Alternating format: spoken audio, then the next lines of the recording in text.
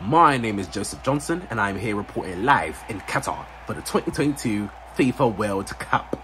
I'm in the section of Ghanaian fans and here with me I've got Kofi. Alright Kofi, how do you fancy Ghana's chances at this year's tournament? Uh, yeah, uh, I'm having confidence for this Ghana national team, this Ghana Blasters, that will do well at this World Cup. Better than we have ever done before. And I can also say with confidence that this Ghana Blasters, hmm, they will win the World Cup by force. And when you say by force, what, what exactly do you mean? When I say Ghana will win the cup by force, I mean that we Ghanaians, we will use all, all our powers to come together and, and, and defeat and beat our opponents and take the cup by force. Have you got enough power to beat teams like England and France? Ah, should I be afraid or something? Eh? Who is England? Eh? Who is France? England and France are two of the best teams in the world. They are not to be reckoned with. What power does France have? Eh? France is even another African team. They have a player who is called Camavinga.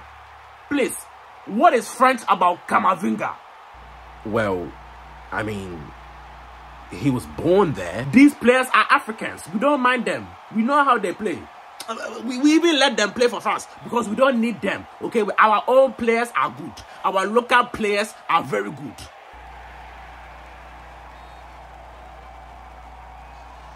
Alright.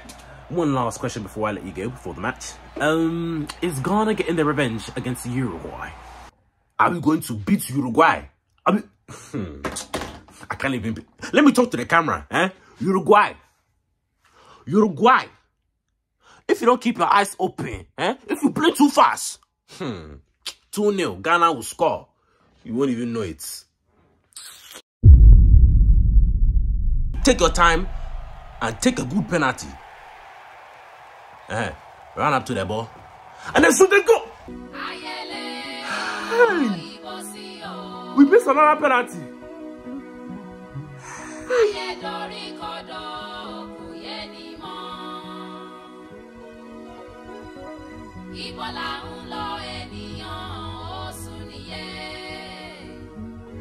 I am Joseph Johnson and I'm here for your post-match analysis for Ghana vs Uruguay. And I'm here with my good mate Kofi.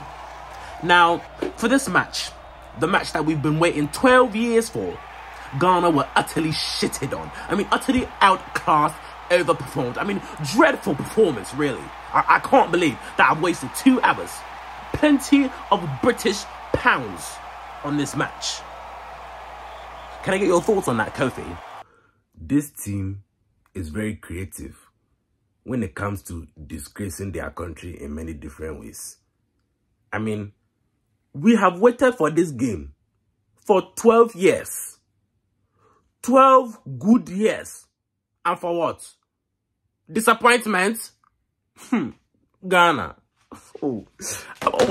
The, the last game, they, they were playing with so much swagger. I mean, what happened to the game before? Huh? What happened to the Vim eh, in the game before? You are playing with Vim last game. And now this game, you are playing with, with Vimto. You go from Vim to Vimto. Oh, Ghana. Oh, I am done supporting this national team. I am done. Mate, let's be honest. I mean, you've got no other options. I mean, you were born and bred in Ghana. I mean, supporting another national team, like England, would it be quite possible for you, mate? Maybe back in your Gold Coast days. So I guess you could say that Ghana didn't see this coming. Kofi, did you get it? Like your currency? And if I pound your face, don't be surprised. Do, do you get it? Like your currency? You said you're gonna pound my face, mate. That's a bit gay, isn't it? Can't do that here in Qatar. Anyways, back to you guys at the studio.